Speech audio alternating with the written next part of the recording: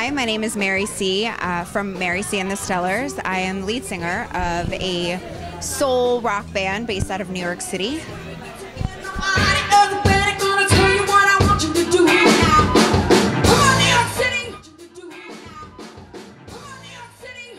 Uh, my mom is a jazz singer. Her name is Mercedes Hall and I grew up around jazz musicians my whole life, around entertainers really my whole life. My brother's an actor, and my father's um, in the business as well. And so it was just a natural progression. I started playing piano when I was five, writing songs, probably all that were horrible.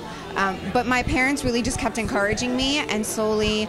Um, I started singing backup for my mother, and from there I developed my own band and it's gone through many phases as most bands do. But for the last four years, we've been Mary C and the Stellars, and as a whole unit, we are a 10-piece band. Um, tonight you saw about five of us, six of us maybe. Um, but yeah, that's that's kind of how I got my start. And I'm from here. I'm from New York City, born and raised. So.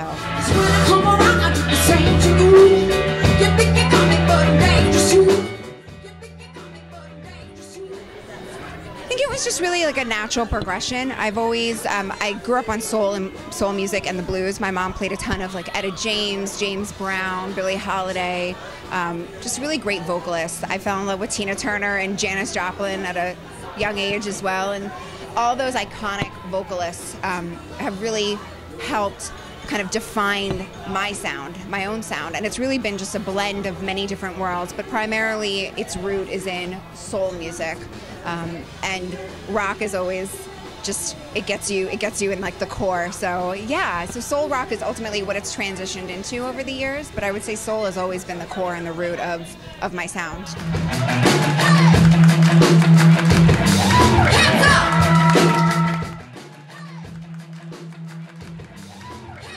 you know i think it's it's hard to say i i, for one feel that good music is embraced, regardless if it's a man singing it or, or a woman singing it.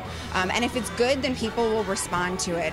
So I, I'm not really sure if I've personally had any struggles, but I will say that I love seeing that the trend of female front women um, is becoming a trend. And it's becoming not just a trend of the moment, but a lasting trend. Because women are powerful and uh, it's important that we're out there and that our voices are heard. And I, and I think it is. I think it's changing, and I think we're in a place now where we're fortunate to have a lot of really amazing women in music, in film, in TV, and and hopefully soon to be our next president.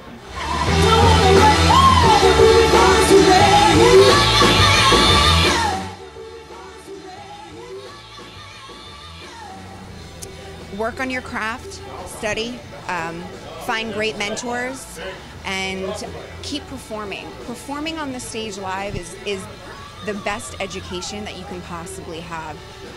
Working in the studio is great, and creating your songs and really working on your instrumentation and your songwriting, those are all really important things. But to me, the biggest place that I've learned is on stage and there's nothing that compares to that. So no matter what, always get on that stage, keep performing, keep trying out new material, see what works, see what doesn't, and you'll ultimately find who you are as an artist on that stage.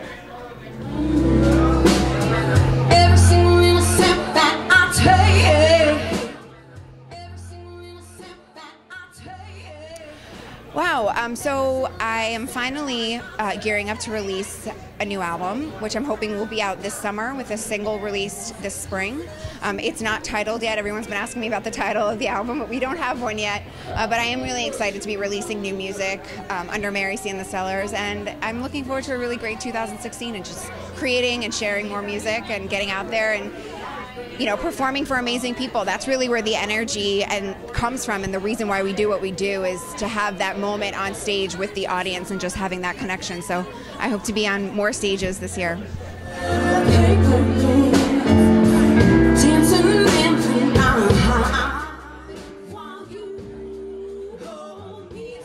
Well, thank you. Thank you for listening. Thank you for supporting, and thank you for continuing to spread the music. That's the most important thing. So thank you, fans. Thank you out there. Thank you, new listeners, and uh, hope to see you guys in 2016.